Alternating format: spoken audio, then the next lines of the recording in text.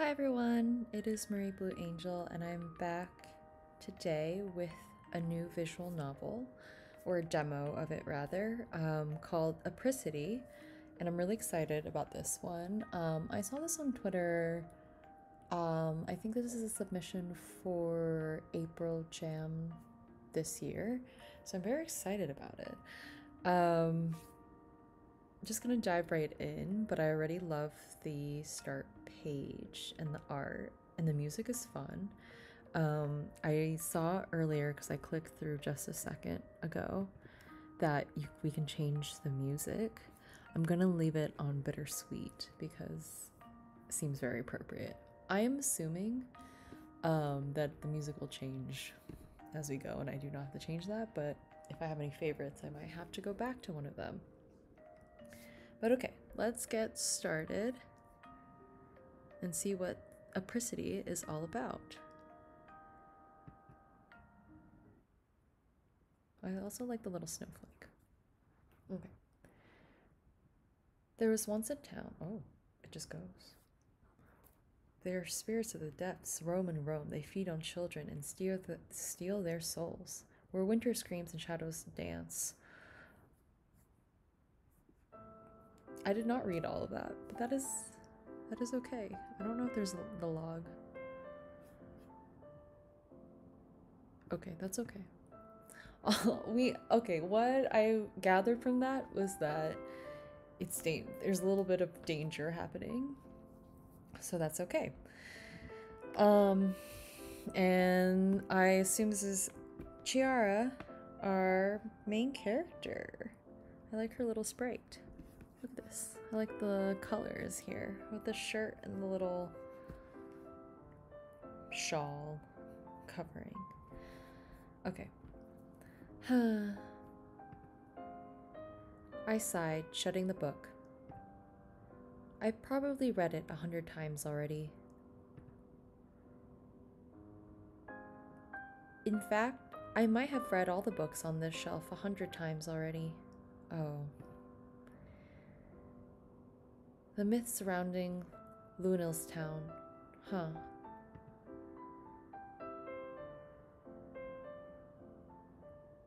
It's funny how it's so obvious that it's just a children's fairy tale, but the adults here take it so seriously.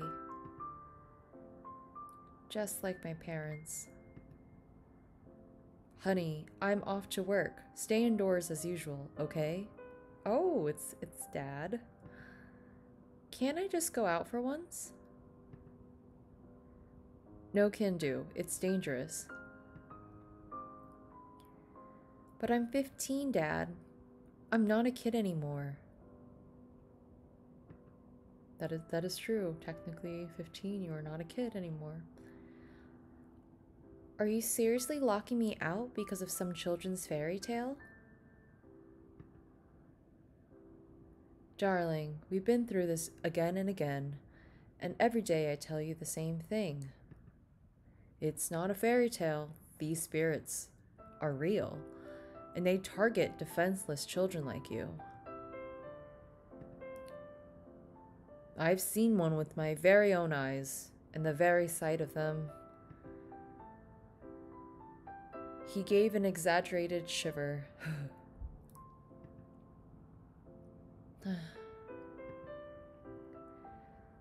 Dad bent down and patted my head, a gesture he does almost every time I bring up the topic of leaving the house. I hope you understand, Chiara. I'm doing this for your sake, for your own safety. Hmm. Don't worry, winter's almost over. You can go out when spring arrives. I wonder how long winter lasts here because if it's like a 75% winter most of the year, I would be a sad person. If it's 25% of the year, which is technically what most people think, or most people have, eh, that might be okay. For me, at least. I don't know. But Chiara's 15 and is tired of staying indoors in the wintertime, understandably.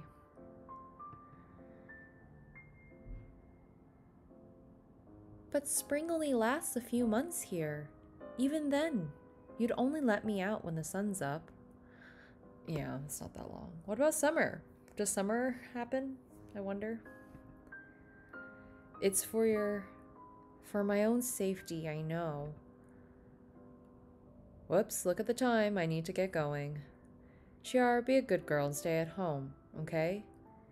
Your mom is in her room. Call her if is in her room. Call her if you need anything. Yes, Dad. Did we get to see Mom at all, or does Mom have any lines? Dad, st- Dad stood up and left the house. he wasn't always this protective. It's only recently that Dad started believing those myths. Realizing I have nothing better to do, I turned to my bookshelf and started reading books again. I wonder if you can get new books. How often can you get new books? This is boring. By the time winter ends, I'm sure I would have memorized every word in these books. Don't get me wrong, I love reading, but there are only so many books in this town. Okay, that makes sense. It's a town. And I'm pretty sure I've read almost all of them. Hmm? I quickly scrambled to the door. Rue! Hey. You didn't tell me you were coming. I got what you asked for. It's Rue. He held up a bag, smirking. Could it be. It's the fantasy novel you wanted so badly. Aw, Rue. Brought the book. No way! The final book of the Fantasia series? I've been waiting for it my entire life. I was I thought she fell to the floor. That this makes more sense. Okay. I instantly jumped and hugged Rue with all my might. Hmm? Thank you, Rue. He's speechless.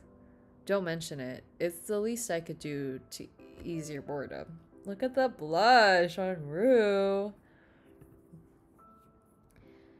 He he held my shoulders and gently pushed me away. You'll get dirty.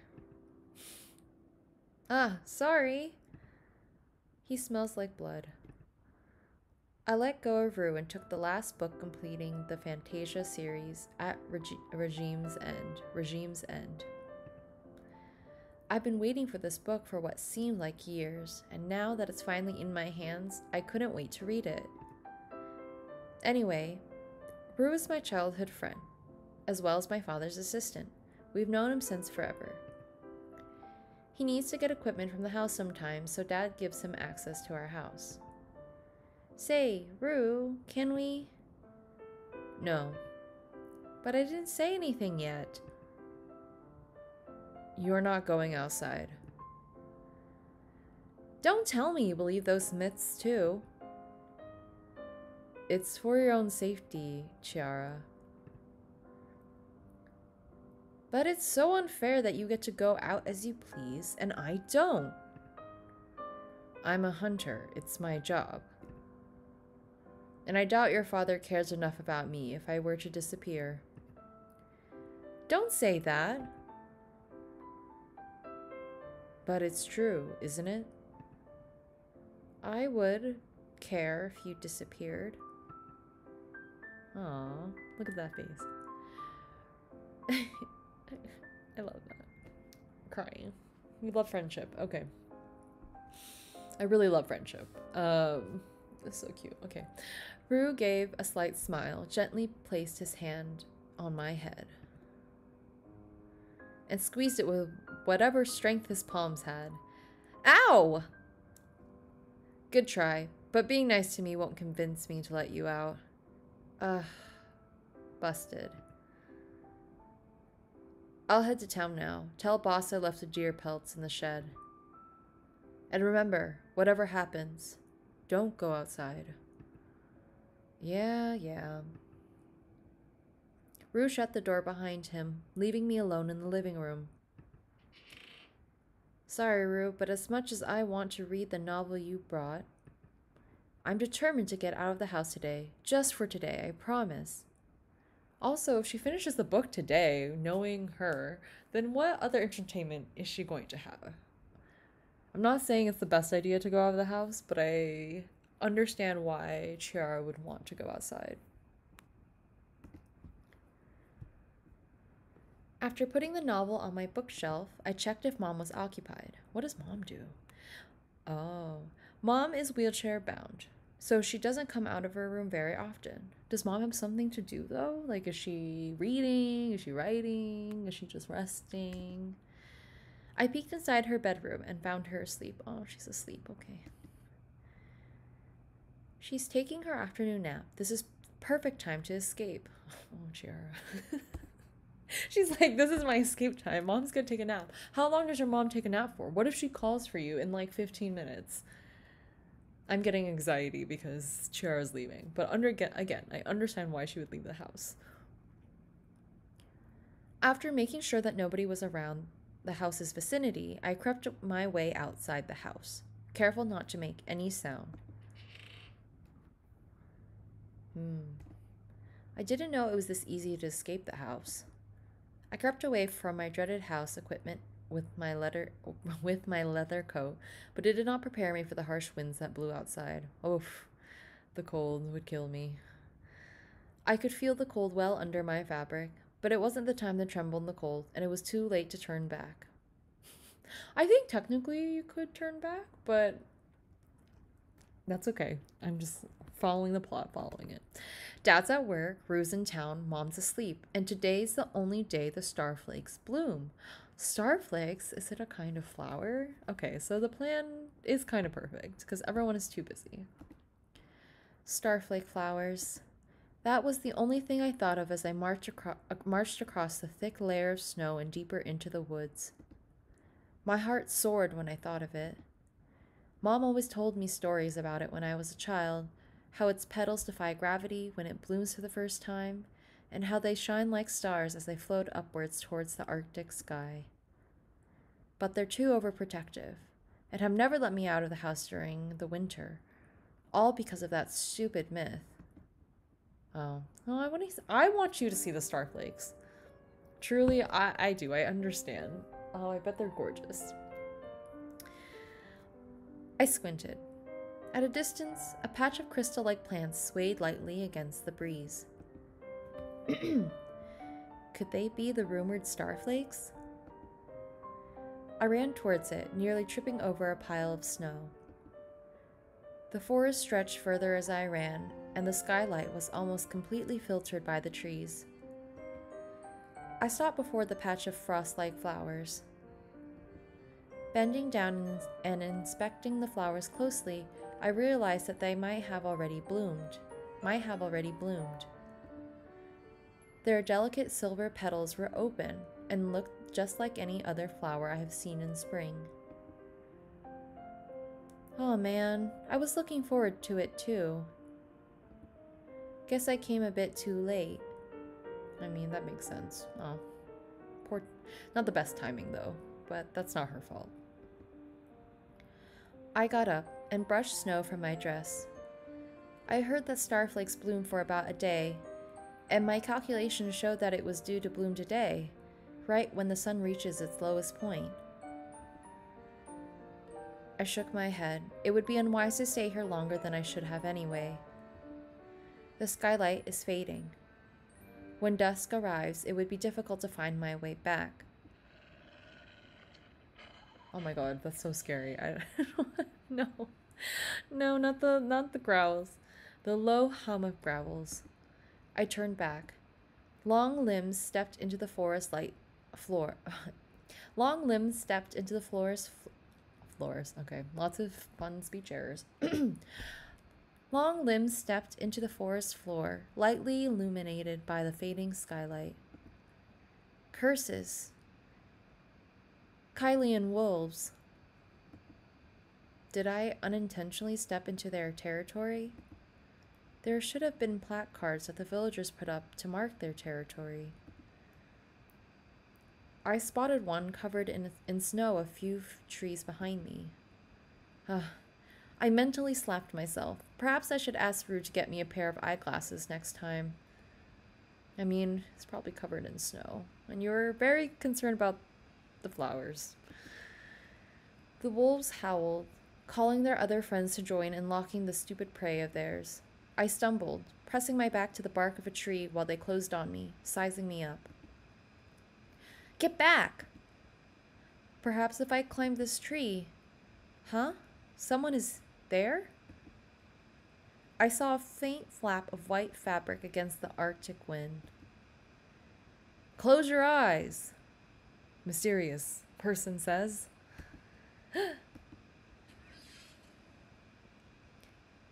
Even with my eyes closed, I knew that someone was there, shining a light so bright it blinded the wolves and sent them reeling away. Oh my gosh. When I opened my eyes, there were no wolves in sight, just a stranger in a white cloak. Look at the stranger in the white cloak. Also, I just realized that I said that this was a demo. This is not a demo. This is a fully a full game done for April April Jam uh, this year. Um, I did a demo just this, the other part of this week, so that's why I was saying a demo. But this is not a demo, so there's going to be many parts to this. Um, but anyways, sorry, that was a note that just came into my mind right now. But oh my gosh, mysterious stranger who was saved Chiara from the wolves. And also, I really love this outfit. I just like the blues a lot, the whites and blues, and the mask. It's just looking. What is this? Is this a branch coming out of, of their of their head? Like a like maybe next to their temple. Okay, I like I like the colors. I like the design. Let's move on. Hmm. Uh, who who are you? The masked stranger started walking away. He didn't. This man. This guy. This person didn't say anything. Oh my. Wait. Hmm? He stopped and turned back. What? Why did I call out to him? I know I shouldn't be talking to strangers. The stranger remained motionless. His mask covered his eyes, so I couldn't tell where he was looking, but I was sure he was staring at me. This person gives me a strange feeling. It's as if I've met him before. But where? Say, what's your name? I don't have one. Uh, oh, is that so? So he can talk. But he doesn't have a name? That's strange. Wait a sec. Beware of the spirit living in the depths of winter. They prey on innocent children like you.